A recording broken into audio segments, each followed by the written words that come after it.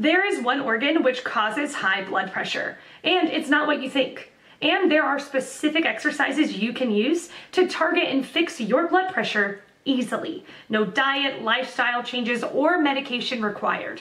Check the link in the description below, but for now, today's question.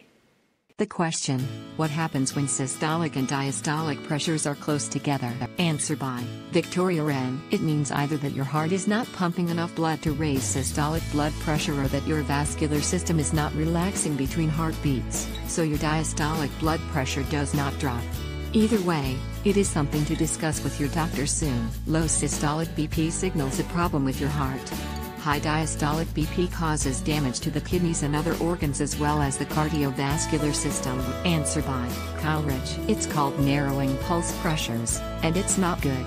Your heart, for whatever reason, is under quite a bit of load even after a full cardiac cycle.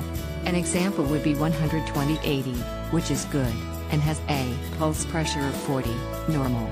If you have a pressure of 120 100ths, which isn't terrible, but you now have a pulse pressure of 20, which is a low pulse pressure, indicating some kind of issue with your heart. I think I got that right. Hope that helps.